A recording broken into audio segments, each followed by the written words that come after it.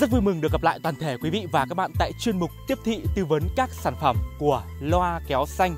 Quý vị và các bạn thân mến, Sansui là một trong những thương hiệu đình đám rất nổi tiếng của loa kéo di động. Và trước mắt quý vị là chiếc Sansui SG215, một trong những sản phẩm tiêu biểu của thương hiệu loa kéo này. Chúng ta cùng nhau thẩm âm và đánh giá chi tiết. Một mai qua cơn mê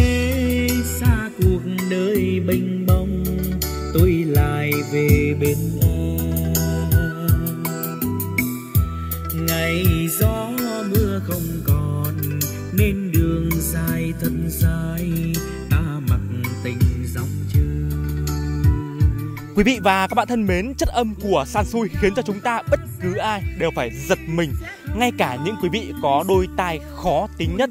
Thứ nhất, quý vị có thể cảm nhận được cái chất bát của Sansui nó rất mềm dẻo, rất ngọt ngào, rất ấm áp mà những thương hiệu khác nó không có được.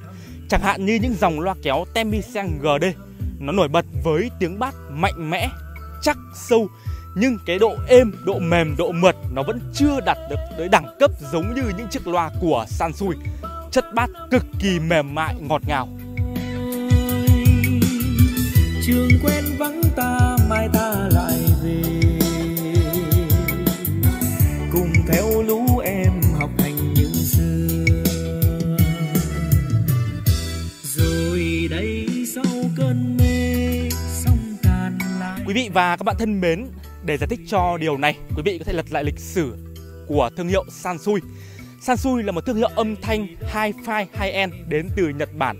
Nó nổi tiếng cách đây vài chục năm rồi. Họ chuyên sản xuất ra những bộ âm dàn âm thanh chuyên nghiệp, chẳng hạn như những chiếc âm ly của Sansui giá lên tới vài nghìn đô. Và trong thời gian một vài năm gần đây, hãng âm thanh này họ đã đầu tư một thương hiệu con đó là Sansui loa kéo tại Trung Quốc. Quý vị lưu ý nhé, Sansui này là thương hiệu Nhật Bản nhưng sản xuất và gia công tại Trung Quốc. Mặc dù những chiếc loa kéo di động nó có mức giá khá là rẻ, nó không thể so được về chất âm so với những cái bộ âm thanh nghe nhạc chuyên nghiệp của Sansui ngày xưa nhưng nó vẫn kế thừa được rất nhiều ưu điểm khả năng xử lý âm thanh tuyệt vời của thương hiệu Sansui truyền thống. Âm thanh của nó cực kỳ sạch sẽ, cực kỳ chi tiết. Đặc biệt như mình nói lúc nãy, cái giải trầm của Sansui nó luôn có một cái gì đó khác biệt hoàn toàn so với các thương hiệu loa kéo trên thị trường hiện nay. tình người sau cơn mê vẫn dài dù bao tháng năm đau thương dập vùi trường quen vắng ta mai ta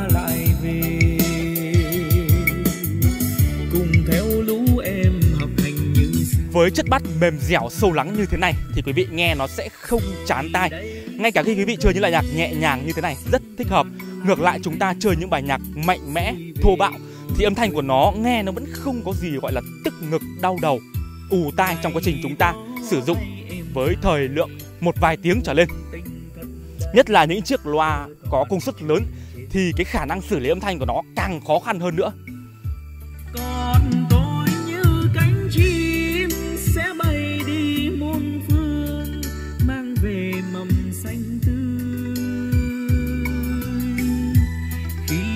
Và một điều rất thú vị ở chiếc loa kéo này đó là nó chỉ sở hữu hệ thống loa hai đường tiếng.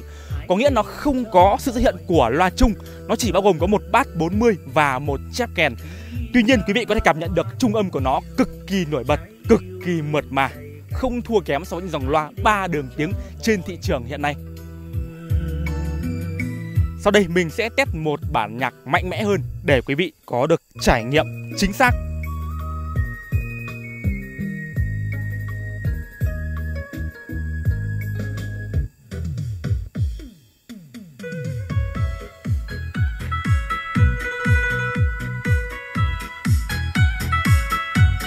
Quý vị và các bạn thân mến, quý vị hãy để ý đến giải trầm của nó để chúng ta đánh giá.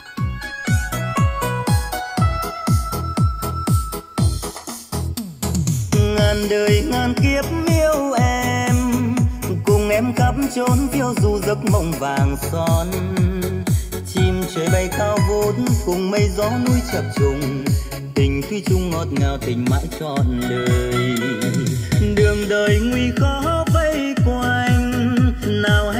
chắc mai này sẽ là phù du. Thôi mặc ai ganh ghét mình xa lánh hết ưu phiền. Vượt núi sông ta tìm đến chân trời xa. Vâng, mặc dù nó chỉ là loa hai đường tiếng nhưng quý vị vẫn cảm nhận được âm thanh của nó cực kỳ chi tiết, đủ ba giải, bát, trung, chép, âm thanh rõ nét từng giải tần một. Với bảng điều khiển tùy biến, quý vị có thể tinh chỉnh được âm thanh, chẳng hạn như quý vị muốn bát nhiều hơn, tăng bát nó hết cỡ. Đấy, quý vị có thể nhìn thấy cảm nhận được cái giải trầm của nó kinh khủng như thế nào.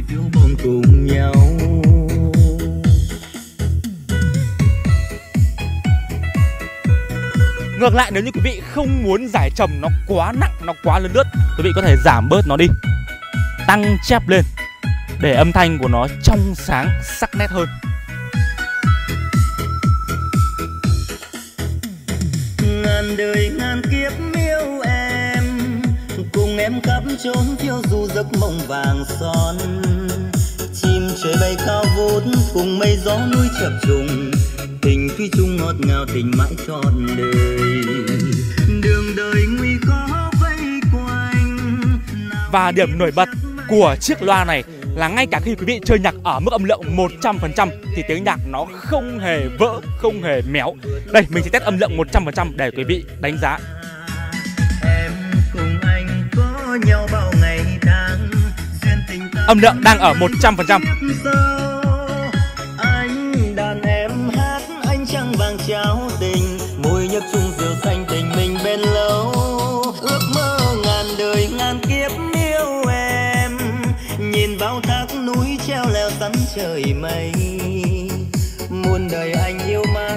Người đời ta sẽ hết ưu phiền. Tình nửa đôi cuộc đời thiếu bồng cùng nhau. Muôn đời anh yêu mãi, đời ta sẽ hết ưu phiền. Tình nửa đôi cuộc đời thiếu bồng cùng nhau. Cùng em đi trên con đường xưa chung lần cuối. Gương cây không nói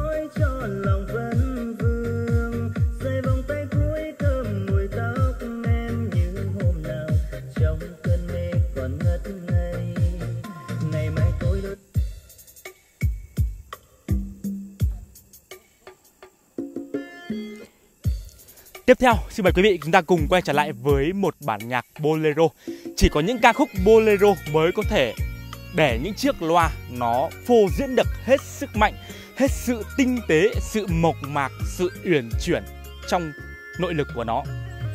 Những bài nhạc sống, những bản nhạc trẻ nó chỉ phô diễn được giải trầm thôi, cái độ mạnh của giải trầm thôi. Còn để âm thanh nó tinh tế, nó xuất sắc nhất chúng ta phải test những bản nhạc bolero nhẹ nhàng, đủ các giải tần, đủ các âm sắc. Con gái đông về đàn áo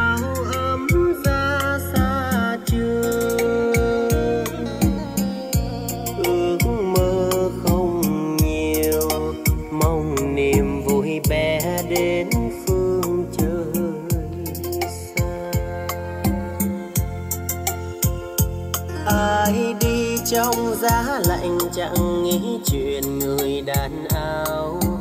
Một vầng trăng sẽ bóng chia đôi. Bài này cái tiếng chép nó hơi nhiều Do vậy mình sẽ giảm một chút xuống để âm thanh nó mềm mại, ấm áp hơn.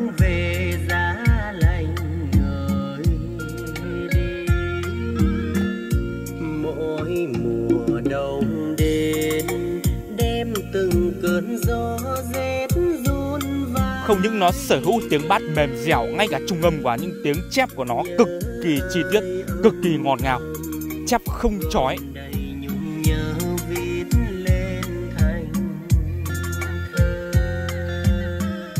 Quý vị và các bạn thân mến, bởi vì nó là một chiếc loa di động, mặc dù trọng lượng của nó ngoài 30 kg, kích thước khá lớn, nhưng khả năng di động của chiếc loa này chưa bao giờ làm quý vị thất vọng. Nó được trang bị hệ thống bánh xe đa chiều và chúng ta có thể kéo nó di chuyển trên nhiều địa hình khác nhau. Chẳng hạn như cái sân này nó khá là gồ ghề với à, cái việc lát đá. Tuy nhiên quý vị có thể kéo đẩy chiếc loa rất dễ dàng chỉ với một tay nó sử dụng hệ thống bánh xe đa chiều thì chung là chiếc loa này sử dụng để hát hát rong, bán kẹo kéo thì nó khá là tuyệt vời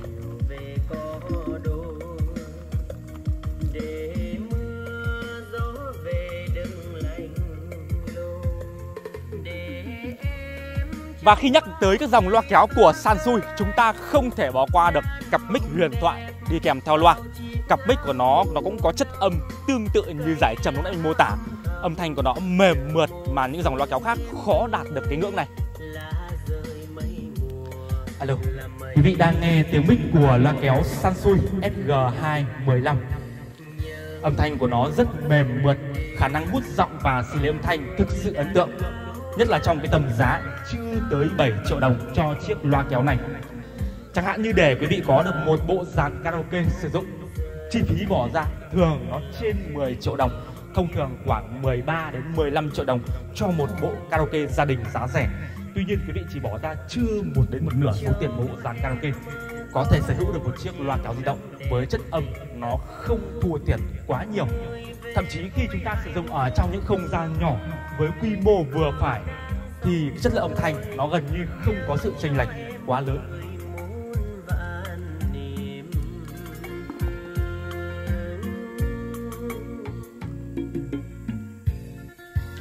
Bên trong của chiếc loa được trang bị một bình ắc quy dung lượng 20 ampere với dung lượng ắc quy này thì thiết bị có khả năng trụ liên tục lên tới 10 giờ đồng hồ.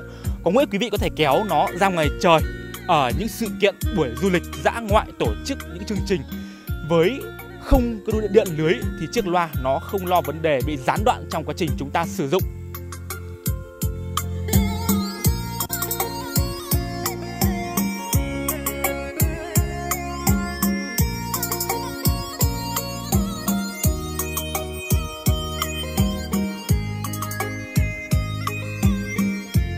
Mặt bên trái và mặt sau của loa thì gần như không có chi tiết gì cả. Đằng sau nó chỉ có mỗi một cái quai để cài mic thôi. Và tất cả bảng điều khiển nó được bố trí ở bên phải với các chức năng thông dụng, các cổng kết nối ngõ vào và ngõ ra. Gần như là không có sự khác biệt giữa các dòng loa kéo. Cho nên cái này mình cũng không review nhiều nữa. Nó là như nhau thôi. Chúng ta cần tìm ra sự khác biệt chủ yếu là về chất lượng âm thanh và công suất phát nhạc còn hầu như tính năng thì các dòng loa kéo di động nó không có sự khác biệt quá nhiều. Nhớ mùa đông đến, em ngồi đàn áo ấm ra xa trường.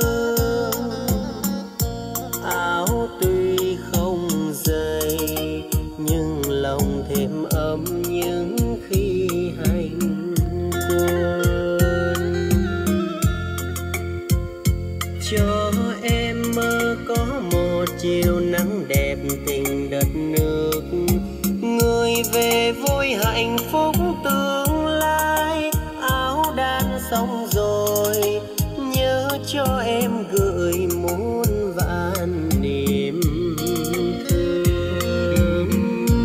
quý vị và các bạn thân mến, với mức giá 6 triệu 750 nghìn đồng, tặng ngay một bộ pin sạc cho mic khi quý vị mua tại loa cáo xanh theo quý vị, chiếc loa này có đáng để mua hay không vui lòng để lại bình luận phía bên dưới video mình xin được kết thúc video clip tại đây. Cảm ơn quý vị đã quan tâm theo dõi. Xin tạm biệt và hẹn gặp lại.